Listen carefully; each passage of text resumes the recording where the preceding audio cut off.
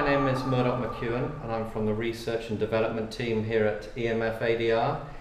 Now you can see where uh, we've got a video game console.